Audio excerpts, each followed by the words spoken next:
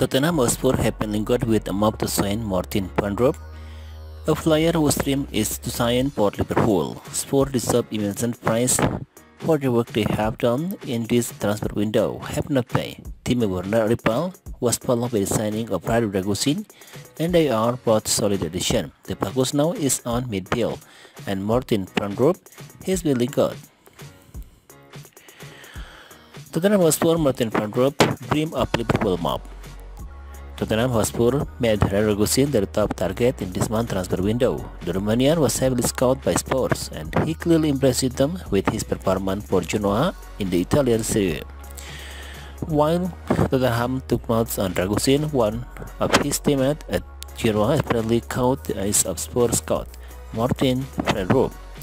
This according to journalist John Warapion this week. The Spurs called by Genoa against to sign the 22-year-old midfielder.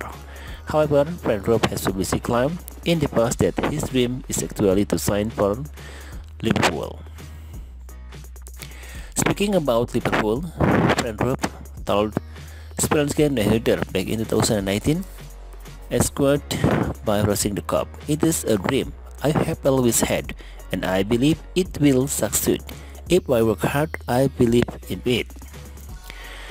Liverpool have been linked with Frendrup too. Liverpool spent a lot of money on their midfield in the summer, but many feel they still need another player in the in that number 6 position.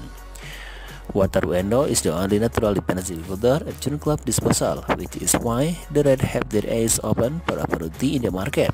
Liverpool echo revealed earlier this month that Genoa midfielder Martin Van is a player who is admired by the Premier League leaders.